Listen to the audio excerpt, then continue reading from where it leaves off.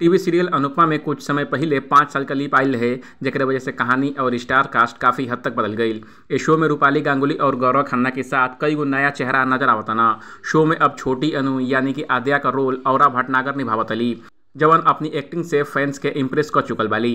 ये सीरियल में दिखावल जाता कि छोटू अनु अपनी माँ अनुपमा के बिल्कुल पसंद नहीं करत, जेकर वजह से उनके साथ वो बदतमीजी कर दली। इतना ही नहीं, वो अपनी पापा अनुज के भी सुना देतली। और के अपने रोल के चलते ट्रोलिंग का सामना करे के पड़ता, लेकिन रूपाली गांगुली अब सामने आके ट्रोल्स के जवाब दिली है।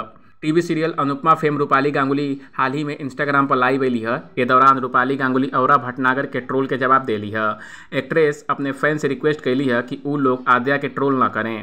वो कहली है कि हर कोई आद्या उर्फ़ छोटी अनु से नाराज़ बाटे, लेकिन बच्चा ऐसा ही होना, खासकर टीनेज में। जब आप उनसे कुछ भी कहब तो बच्चा थोड़े अड़ियल टाइप का होना। वो बहुत इमोशनल रूप से एक लेना और ये उम्र में वो अलग तरीका से रिएक्ट करना। और इमोशनली भड़क जाना। रूपाली गांगुली सबसे अनुरोध कैली कि वो आद्या के ट्रोल ना करें।